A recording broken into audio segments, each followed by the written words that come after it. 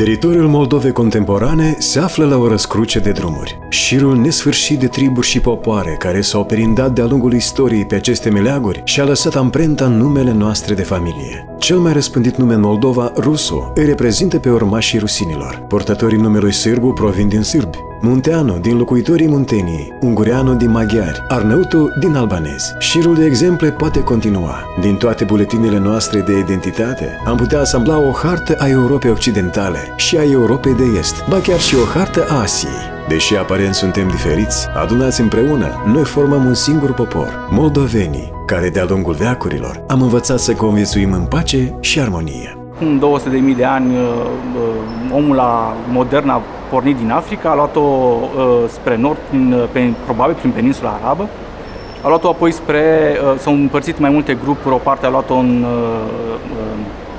est spre Asia, o parte spre vest. La nivelul peninsulei arabe s-au despărțit în mai multe linii, să zicem, care au venit și au ocupat uh, teritoriile actuale de pe, uh, din Europa și evident din uh, regiunile noastre. Fiind un, o zonă de trecere, studiile pe care le-am făcut eu pe cromozomul Y și pe adeneul mitocondrial reflectă un eveniment destul de important în ceea ce privește structura actuală a populației de pe teritoriul ăsta, Uh, și acest eveniment se uh, reflectă, se po- poate fi explicat prin uh, migrația popular, populațiilor slave. Proveniența numelui Moldova, care a fost dat ținutului nostru, este o altă dovadă a complexității istoriei. Toponime similare pot fi întâlnite în Cehia, Germania, Slovacia, Serbia, România, Ucraina și Rusia. În Europa Centrală, în Cehia de astăzi, curge un rând pe care cehii îl numesc Vâltava, iar germanii Moldau și înseamnă în traducere apă sălbatică. Până acum au fost lansate mai multe versiuni cu privire la originea denumirii Moldova. Unii presupun că numele Moldova provine de la expresia romană Molis Davia, alții că toponimul are rădăcini slave. Există și versiuni care găsesc origini în cuvintele gotice Mulda și Muldeins, ce înseamnă pământ. Totuși, aceste toponime au apărut cu mult înainte de nașterea statului moldovenesc, eveniment care a avut loc în secolul XIV. Ca să urmărim ce s-a întâmplat până la acel moment, noi procedem într-o călătorie în timp cu un milion de ani în urmă, perioadă când teritoriul Moldovei de astăzi era populat de mamuți.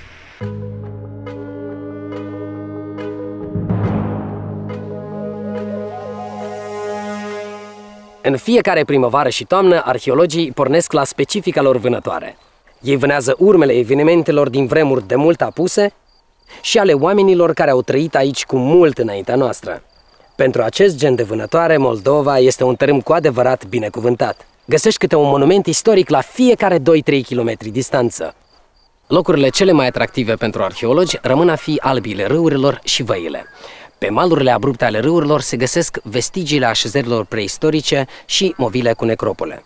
Aici locuiau geții, sciții. Și dacă suntem într-o vale, merită atenție versanții, mai ales cei sudici. Aceștia erau preferați de populațiile cu Cuten Tripolie și Sântana de Mureș, Cernahov. Chiar la fundul văii pot fi găsite urmele așezărilor din epoca neoliticului și ale slavilor din vremuri străvechi. Arheologii afirmă că ei nu se întorc niciodată din metaforicele lor escapade cinegetice cu tolba goală, fără trofee valoroase.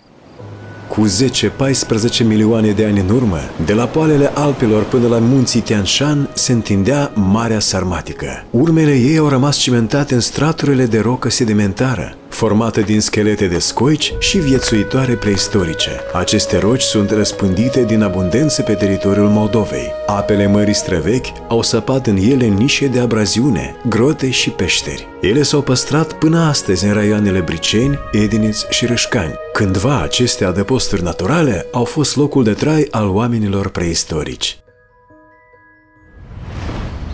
Priveliștea este pur și simplu superbă. Se vede că omul preistoric era dotat și cu un gust estetic ales. Aici, în grota din preajma satului Duruitoare, arheologii au dat de un vestigiu cu valoare de unicat, un fragment de maxilar de om preistoric.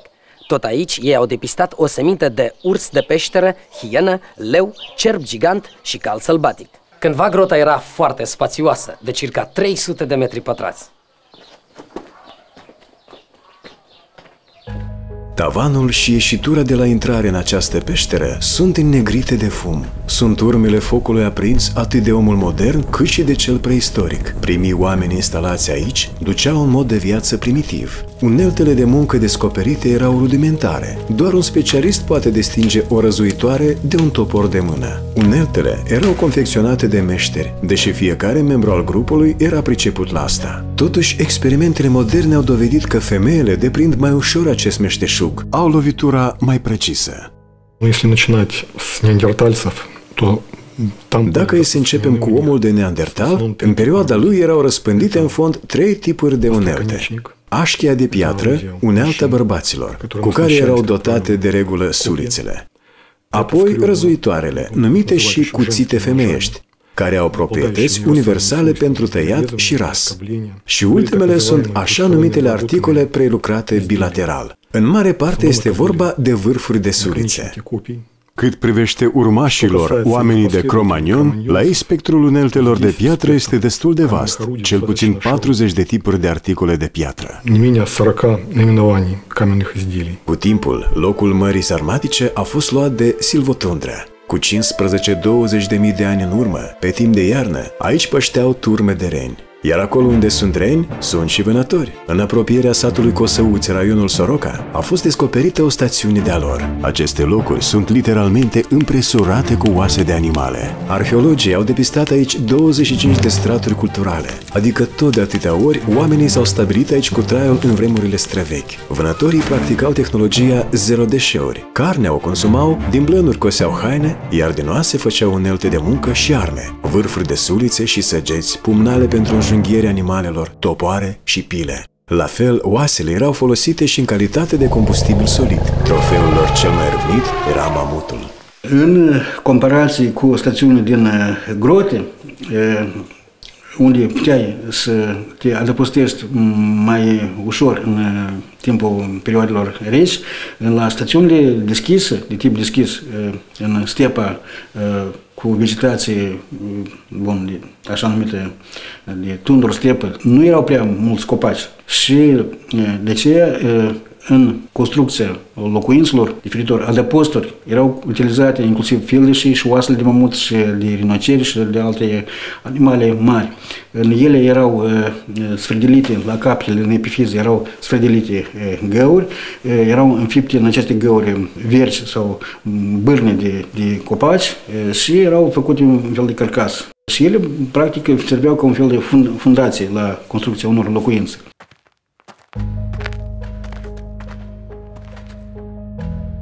Între mileniile 10 și 8 înaintea erei noastre, ținutul nostru se transformă într-o silvostepă cu aceleași condiții meteo ca și astăzi. Clima se schimbă, dispar mamuții și renii, apar oamenii noi, agricultorii.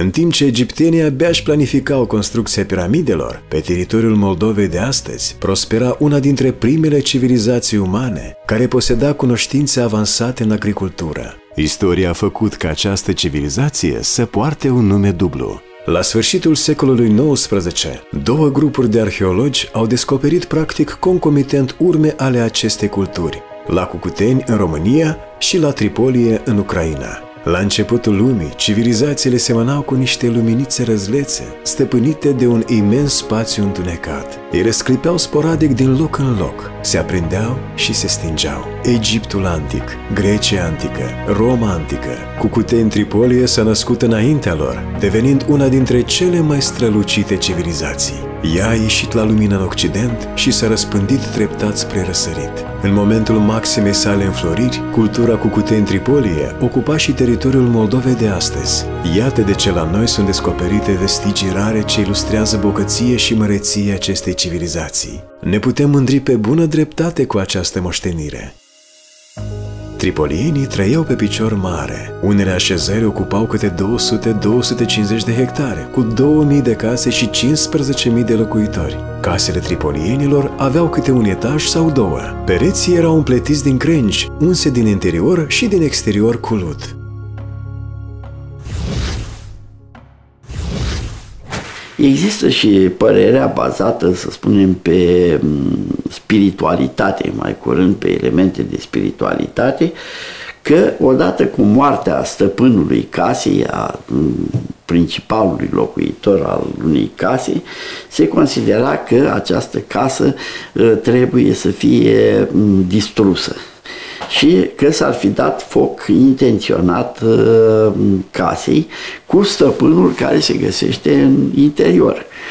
Ă, se găsea în interior defunctul care era depus în interior. S-a făcut această presupunere pornindu-se și de la faptul că, deși se sapă de peste 130 de ani în uh, cadrul naria culturii Cuteni, noi nu cunoaștem până acum niciun cimitir, nicio necropolă a acestei culturi. Focul era sacral pentru tripolieni. Era întotdeauna întreținut în vatră, din momentul înălțării casei până la distrugerea ei. Tripolienii aveau obiceiul de a da foc caselor și chiar a unor așezări întregi. Odată la fiecare 50-70 de ani, ei părăseau locurile de trai și plecau în căutarea altora noi, lăsând în spate trecutul făcut scrum. Ca fapt rămâne când noi, când le descoperim, deci toate ele există și termen, termenul platforme. Rămășițele caselor reprezentate prin lipitură de lut super accendiată.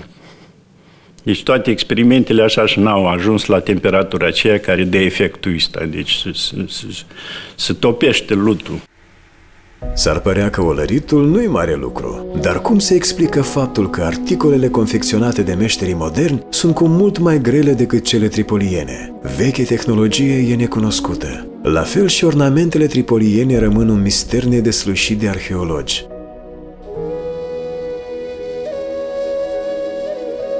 Ei fac paralele cu alte civilizații, cercetând la nesfârșit siluete ce reprezintă femei implicate în dansuri ritualice, imagini cu animale și șerpi încolăciți în simboluri necunoscute.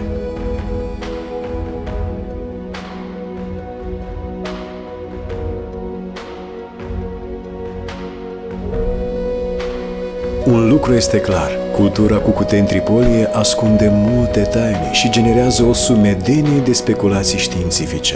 Bunăoară, savanții au polemizat mult timp despre menirea vaselor împerecheate în formă de binoclu, monoclu și trinoclu. Se presupunea că acestea erau folosite ca vase ritualice. Într-un final s-a convenit că erau niște tobe în miniatură, probabil la fel ritualice. Necropolele apar la Tripolieni în etapa târzie. În baza osemintelor descoperite în necropolie din satul Ofatinți alături de Râbnița, antropologii au constatat că tripolienii erau reprezentanți ai tipului de om mediteranean, scunzi, zvelți, gracili. Tot acolo, la Ofatinți, a fost găsit un mic obiect înduioșător, o jucărie sunătoare. Dacă o scuturi, poți auzi aceleași sunete, care acum câteva mii de ani îl calmau pe un prunc tripolian. Uite așa reînvie istoria.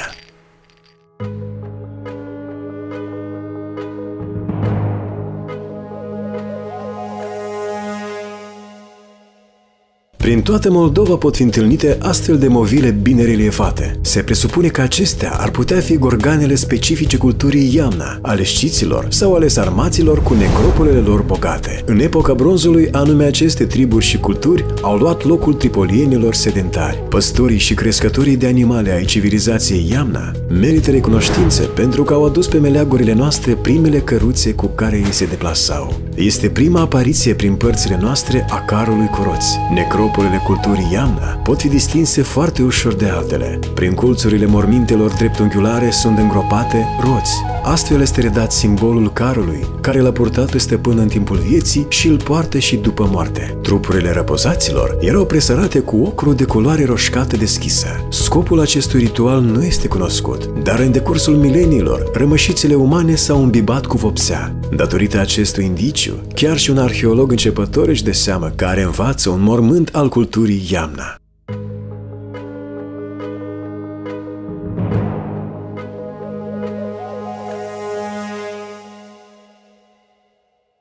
Tradiția gorganelor a fost continuată de sciți. Ei sunt atribuiți celui de-al doilea val al migratorilor timpurii. Sciții proveneau din Asia și migrau spre Europa Centrală. În așa fel, ei au lăsat în urma lor movile pe un teritoriu de la Volga la răsărit până la Ungaria la apus. Cel mai impresionant vestigiu scitic descoperit în Moldova este o salbă de aur găsită într-o movilă de lângă Dubăsare. Este o podoabă bărbătească purtată la gât, masivă și impunătoare prin simplitatea ei. Comorile noastre din epoca bronzului se păstrează nu doar în muzeele din Moldova, ci și în alte țări. De exemplu, la Muzeul de Istorie din Moscova este conservată o comoară basarabeană. Ea a fost descoperită în anul 1912 lângă satul Borodino, județul Acherman al guberniei Basarabia. Este datată cu prima jumătate a mileniului 2 înaintea erei noastre.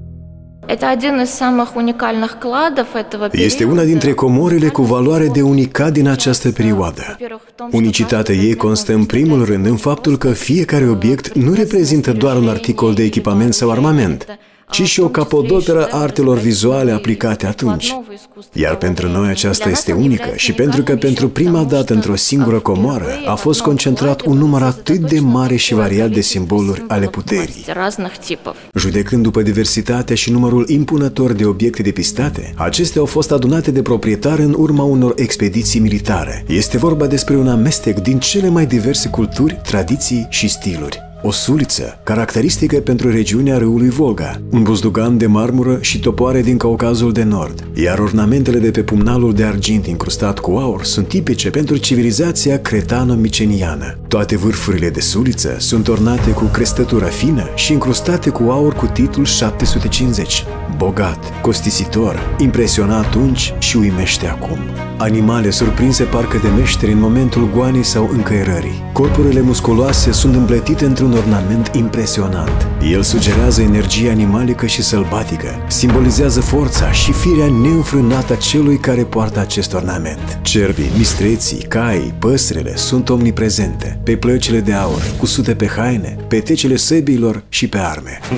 Nomazii au oferit multe și de toate civilizații. Ei au fost agenții de răspândire a celor mai diverse invenții și inovații. Șaua și călăritul cailor, tragerea cu arcul, Chiar și pantalonii, spre exemplu, sunt o invenție a nomazilor pentru a încăleca mai comod. Nu mai zic de alți nomazi și alte popoare crescătoare de animale, care ne-au dăruit una dintre cele mai străvechi cărți, Testamentul Vechi. Într-un anumit sens, este și invenția lor. Sciții sunt descriși de Herodot în relatare despre expediția regelui persan Darius. În calea sa, el a cucerit multe popoare, dar cu sciții Darius a avut ghinion. Ei au opus rezistență. Călăreții știți îi slăiau de puteri pe ostașii perși prin manevre derutante. Scopul lor era să-i atragă pe inamici cât mai departe de adăposturile cu femei și copii. Regele Darius a înțeles ce se întâmplă și a decis să se retragă. Un alt cuceritor, Filip al II-lea, tatălui Alexandru Macedon, a acționat mai hotărât. Mai întâi, macedonianul a încercat să se înțeleagă pașnic cu cel mai faimos cid din istorie, regele Ateas. Filip l-a rugat pe suveranul de 90 de ani, nici mai mult, nici mai puțin, să-l facă moștenitorul său. Negocierile dintre Scit și regele macedonian ar putea sta la baza unei parabole despre lăcomie și șiretenie. Ateas se plângea de sărăcie, sugerând regelui macedonian că nu ar avea nevoie de o rudă atât de săracă. Era evident că șitul încerca să trișeze. Movilele șitice erau tixite până aproape în vârf cu aur.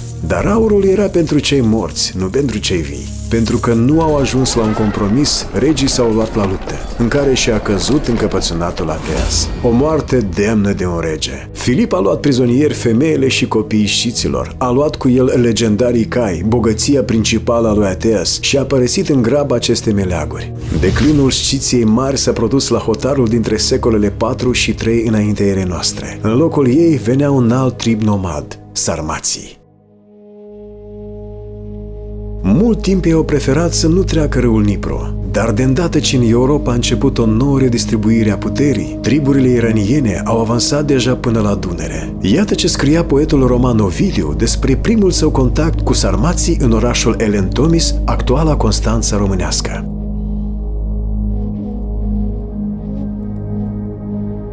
Vezi într-un număr mai mare pe geți și sarmați ce călare, vin și se duc tot foind prin a orașului străzi, Nu e niciunul din ei să nu poarte în spate o tolbă, arc și săgeți, ce la vârf unse cu fiere de șerpi.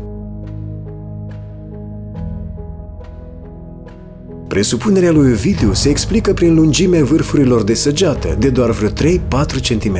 Dacă nu erau otrăvite, acestea nu puteau să-i provoace răni grave inamicului. Nobilii sarmați se deplasau pe cai înalți și semeți, strămoșii ai calului Ahaltechin de azi. Împărații chinezi erau gata să dea multe și de toate pentru a-și aduce în grajduri acești cai cerești. Nobilii oșteni și caii lor erau protejați în lupte din cap până în picioare de o platoșă în formă de surs. Iată de unde vine sursă de inspirație inspirație pentru cavalerii medievali.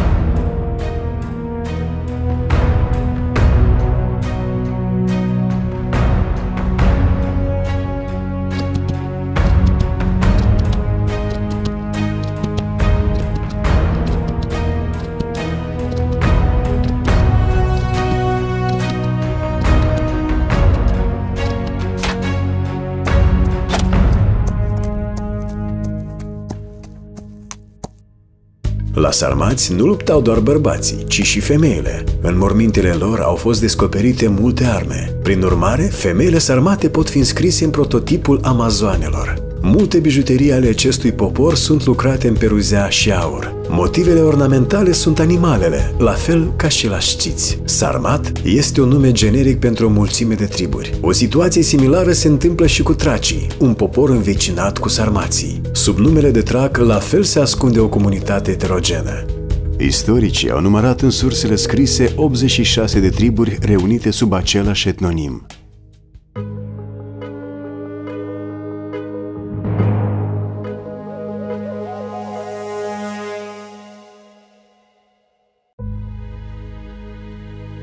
Tracii, cel mai vechi popor din spațiul carpato-balcanic. Acești indo-europeni locuiau pe un teritoriu vast ce cuprindea spații întinse, de la Marea Egee la sud până la Carpați la nord, de la Dunărea de mijloc la vest la Marea Neagră la est.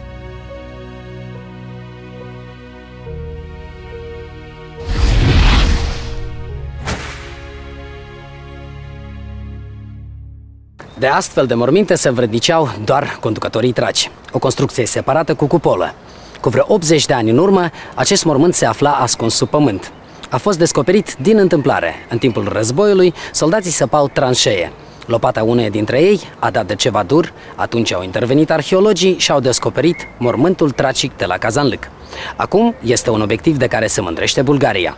În anul 1979 a fost inclus în lista Patrimoniului Mondial UNESCO. Reprezentanții acestui neam erau vestiți ca oșteni curajoși. Legendele despre cai și armele tracilor au făcut în conjurul lumii antice. Contemporanii descriau cu invidie carele de luptă ale tracilor. Ele sunt descoperite periodic și acum pe teritoriul actual al Bulgariei. Гробовите са слагали вещи, които са необходими в отвъдния живот. Ei puneau în mormânt obiectele necesare pe lumea cealaltă. Tot ce le-a servit în viață, vesela și cupele, accesorii de toaletă, vase ritualice din bronz, argint, ceramică și sticlă. Ceramică și sticlă. Puneau neapărat și arme. La fel găsim și călimări care erau inerente în viața cotidiană a nobililor traci. Acesta era nu doar oștean și vânător, ci și administrator. Administrator. Vedem că lângă mormânt a fost pus calul de luptă, calul și câinele preferat, pentru ca să-l însoțească pe acest trac în lumea de dincolo. Când cineva din trib moare, soțiile lui, iar ei toți au multe soții, încep să se certe înverșunat, cu participare geloasă a prietenilor, pe care dintre ele reprosatul soț iubea cel mai mult. După ce ajung la concluzie, bărbații și femeile o împresoară pe consoarta aleasă cu laude, iar rudele cele mai apropiate o înjunghe pe mormânt și apoi o redau pământului împreună cu soțul. Celelalte soții se întristează foarte mult că alegerea nu a căzut asupra lor, căci asta e pentru ele cea mai mare rușine. Reprezentanții unui trib nordic al tracilor, geții, îi petreceau pe reposați cu cântece și veselie, iar pe cei nou născuți îi întâmpinau cu plânsete. Geții considerau că viața de apoi e cu mult mai bună decât cea de pe pământ. I-a convins de asta un oarecare Zamolxis. Geții îl considerau zeu, iar istoricul și geograful Elen Strabon era convins că este vorba despre un muritor de rând, ba chiar fost sclav al filozofului și matematicianului Pitagora. Zamolxis a călătorit mut și se zice că nu ar fi fost doar în Grecia, dar și în Egipt. Probabil prin acest fapt el, el Herodot încerca să menționeze că geții aveau o spiritualitate specifică care îi individualizau din ceilalți, celelalte numeroase triburi uh, a tracilor. Și acest Herodot, vorbind despre geți, susține că ei se consideră nemuritori. Aceasta este caracteristica lor de bază. Anume, datorită acestei credințe, Herodot susține că ei sunt foarte viteși. Și spre deosebire de alte popoare din regiune, a încercat să opună rezistență perșilor, care pe acele timpuri erau un popor foarte puternic și aveau o armată nemaipomenit de mare. Și pentru a explica acest fenomen straniu pentru grec, pentru un grec, cum așa un mic popor putea să opună lui marelui imperiu persan, el găsește explicația acestui, acestui, acestui pas prin credința lor și susține Herodot că geții să cred că nu mor, ci cel care piere trece la zeul lor pe nume Zalmoxis. Cele mai numeroase urme ale așezărilor getice pot fi găsite în regiunea de nord a Moldovei de astăzi. Totuși, una dintre cele mai vechi a fost descoperită la sud de Orhei, în satul Butuceni. Pe acest cap, de la cotitura răutului, era situată o așezare getică. Inamicului îi venea greu să ajungă până aici. De altfel, nici acum nu e chiar atât de ușor să o faci. Conform unei versiuni, aici se afla cartierul provizoriu al regelui Get Dromihete. Istoricul și geograful grec Strabon îl descria ca pe un cromuitor înțelept și șiret. Regatul lui cuprindea Moldova de Sud și pământurile învecinate.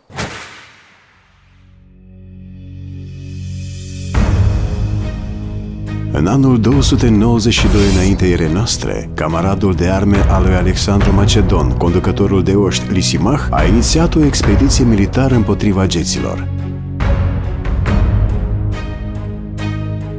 Comandantul militar a fost luat prizonier de oastea regelui Jet Dromihete. Sfetnicii insistau ca inamicul să fie omorât, să le fie altora de învățătură. Dar vicleanul Jet a procedat invers. L-a împresurat pe Lisimach cu onoruri. Dromihete, regele tracilor, arătându-i lui Lisimach în toate privințele că îl prețuiește și îl iubește, l-a dus împreună cu copiii în oraș. Lisimach a fost lăsat să plece cu tot cu oastea lui, sugerându-se la despărțire că ar fi de preferat să nu mai dea pe pământurile geților. Macedonianul a ascultat sfatul și nu a mai călcat pe aceste meleaguri. Nu se știe ce impresie a produs asupra lui Lisimach așezarea getică, dar erau destule lucruri ce puteau să-l impresioneze. Pe lângă locuințele geților, la Buduceni a fost descoperit și un sanctuar. Se presupune că era un templu circular care avea o cameră interioară închisă și o galerie deschisă în jurul său. Unii îl compară cu monumentul Stonehenge din Anglia, sugerând că nu a fost doar un templu, ci și un obiect astronomic.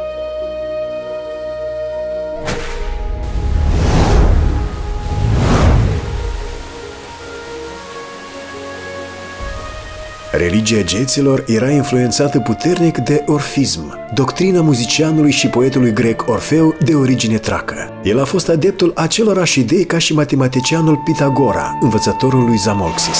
Legenda susține că Orfeu n-a reușit să o readucă din regatul subteran al lui Hades pe soția sa decedată Euridice. El s-a întors în Tracia să-și aline tristețea. Macedonenii afirmă că pe meleagurile lor, locuitorii satului Țipova sunt siguri că la ei, că muzicantul Elen odihnește în una din grotele din preajma spectaculoasei cascade. Turiștii îi cred cu plăcere.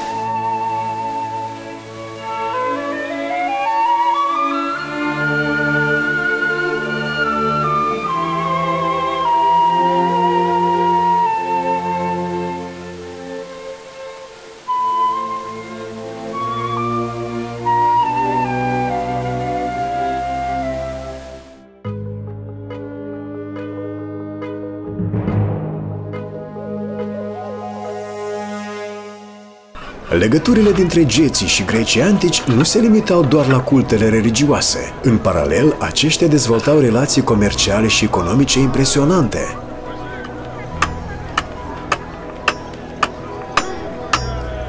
În secolele 7-5 înainte erei noastre, grecii au întemeiat pe țărmul Mării Negre vreo 90 de orașe-state.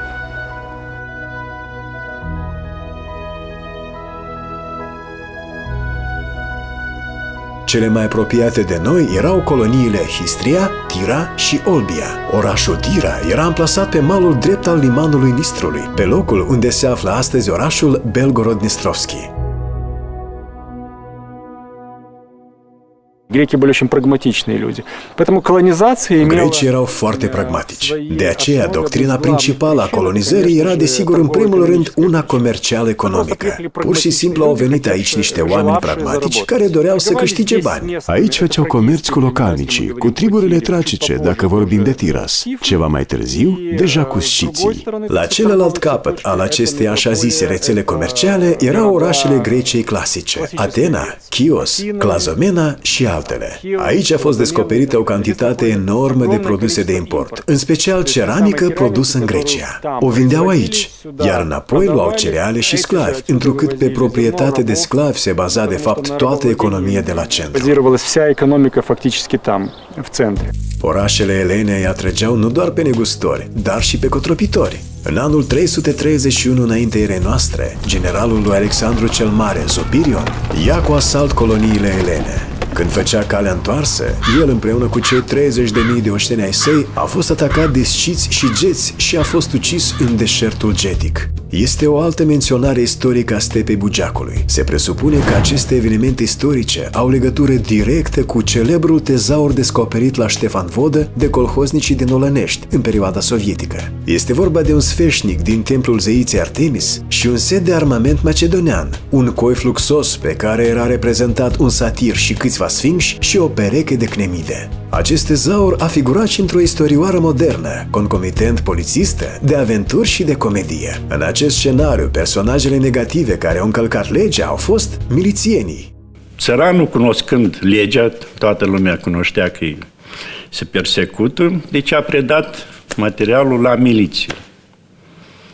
Ea, oameni mai simpli, în sensul că trebuia să cunoască mai bine legile, și în loc să le transmită cum se cuvine la Muzeul Istoriei, Muzeul Central, deci la o instituție centrală. Ei au acționat foarte practic, deoarece ei foloseau motocicletă, au îmbrăcat armele astea pe picioare și pe genunchi să fie apărați de vânt și probabil că era perioada rece. Și așa au circulat vreo săptămână, două, până ce cineva totuși i-a îndrumat că fiți serioși, că o să aveți probleme. Și a fost transmis la Muzeul Central. În secolul III al ierei noastre, coloniile grecești vor dispărea, deci mai iau în față încă vreo două veacuri în care vor prospera și vor răspândi cultura elenă printre vecinii celți, geți și daci.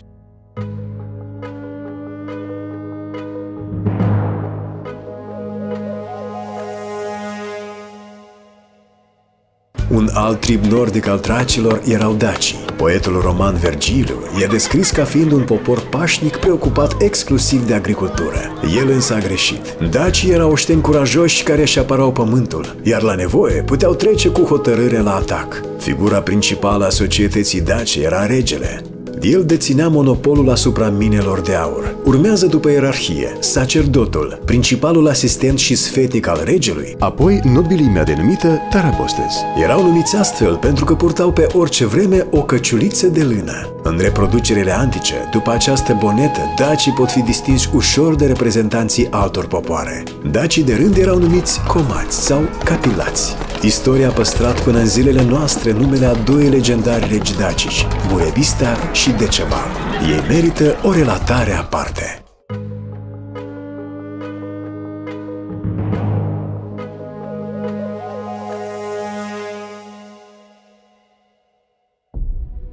Numele regelui Burebista era asociat cu apariția capitalii Daciei Sarmisegetuza. Ea era amplasată într-o zonă montană greu accesibilă pe teritoriul actualei Transilvanii românești. Este o tipică dava, cetate dacică. Sarmisegetuza e situată la altitudinea de 1200 de metri și se întinde pe circa 3 kilometri.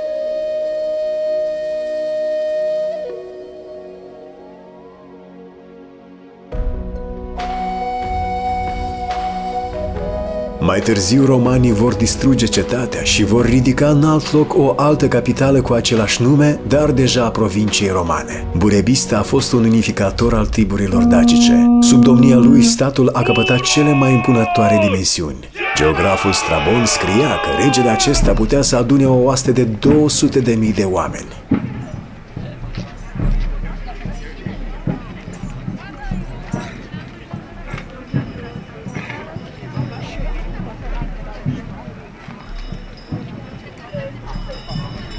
În mod clar, este unul dintre marii regi daci.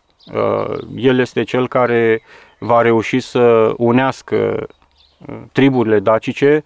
Vă spuneam, probabil pe acest fond religios, această explozie de cultură și de civilizație, în timpul lui se produce acea mare, se creează acel mare imperiu care ajunge până la Bratislava, uh, în nord uh, până în Ucraina, până la Nistru sau până uh, în Balcan, cucerind lumea greacă de pe litoralul Mării Negre românesc sau bulgăresc de astăzi, de unde probabil că își va și aduce inginerii care îi vor crea tot acest sistem de fortificații de acolo din munții Orăștii. Literele grecești de pe blocurile de construcție arată că uh, gândirea este cea greacă. Burebista s-a pasionat într-atât de rolul de geopolitician, încât s-a implicat într-un conflict intern al romanilor, în care probabil că nu ar fi fost cazul să se implice. El a luat partea lui Gneus Pompeius, care se ridicase împotriva lui Gaius Iulius Cezar. Pompei a fost învins în acest război civil, iar Cezar a devenit dușmanul înverșunat al lui Burebista. Regele dacilor a fost ucis în același an în urma unui complot. A fost trădat de Tarabostes, nobelii pe care îi credea cei mai fideli.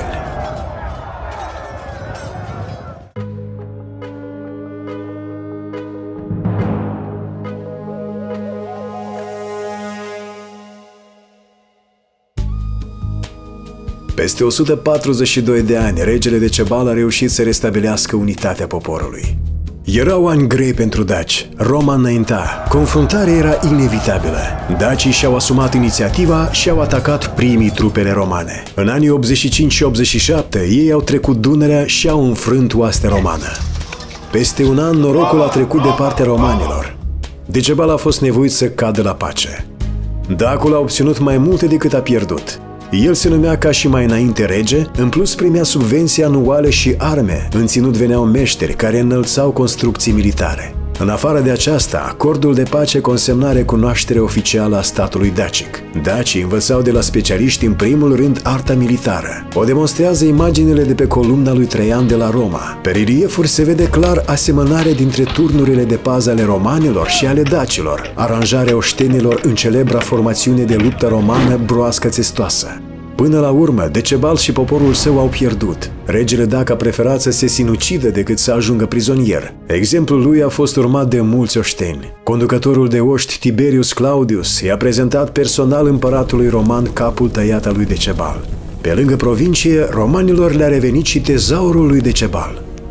Pentru a pune mâna pe el, cuceritorii au fost nevoiți să devieze albea râului, la fundul căruia regele dacilor își ascunsese comorile. Pe aurul și argintul obținut, la Roma a fost organizată o festivitate nemaipomenită.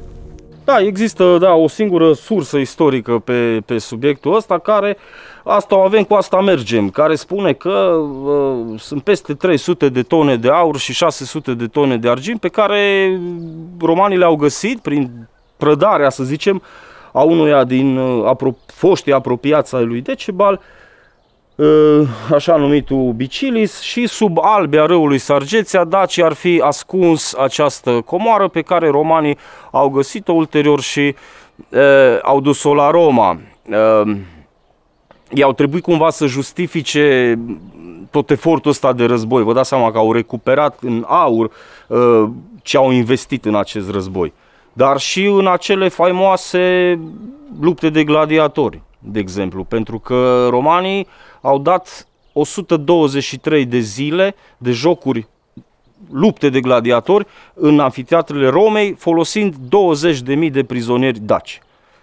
Deci o, o cifră colosală.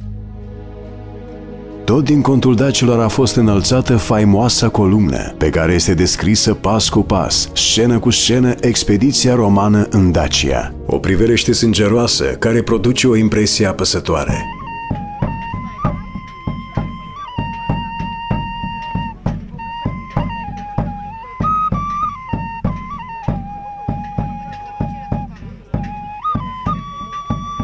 Toate acestea, în anul 106 erei noastre, doar 20% din teritoriul Daciei devenise provincie romană. Pe restul spațiului continuau să locuiască dacii liberi. Romanii au părăsit Dacia între anii 270 și 275. Ei au stăpânit provincia timp de 165 de ani. Acum Roma avea alte preocupări. Era atacată de triburile pe care le numea barbare. Așa că victoria Imperiului Roman asupra dacilor a însemnat începutul căderii Romei.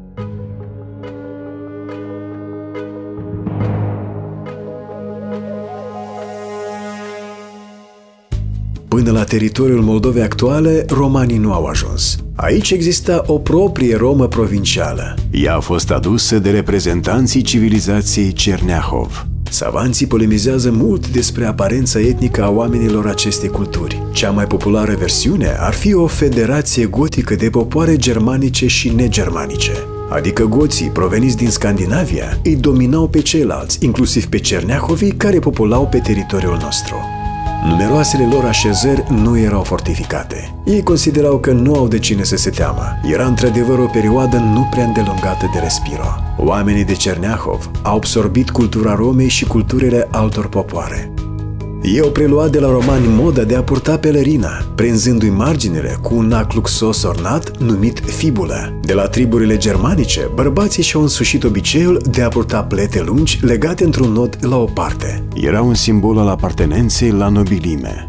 Iată de ce sunt descoperiți piepteni atât în mormintele femeilor cât și ale bărbaților. Și în fine, oamenii de Cerneahov au fost primii care au introdus în uz pe aceste meleaguri articole din sticlă, cupe de nuanțe verzi și albastre. Pe atunci, sticla era un lux rar întâlnit. Se presupune că vasele conice erau confecționate de meșteșugari romani itineranți. Oamenii de Cerneahov și-au supraapreciat gradul de securitate. Au fost impuși să cedeze presiunilor lui Atila, conducătorul hunilor.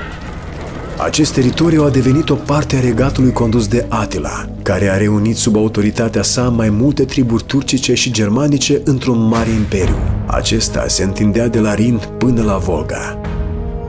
Între timp, noi și noi triburi și popoare veneau în valuri. Începea marea migrație care a deschis o pagină nouă a istoriei.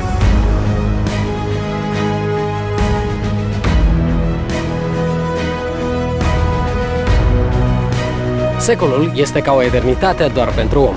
Pentru istorie el este doar decât o clipă. Peste câteva clipe pe harta Europei va apărea primul stat moldovenesc. Va avea parte de multe încercări ale sorții, numeroase tentative de a-și obține, iar mai apoi de a-și menține independența. Este o cale grea pe care și-au ales-o moldovenii și pe care o parcurg și acum.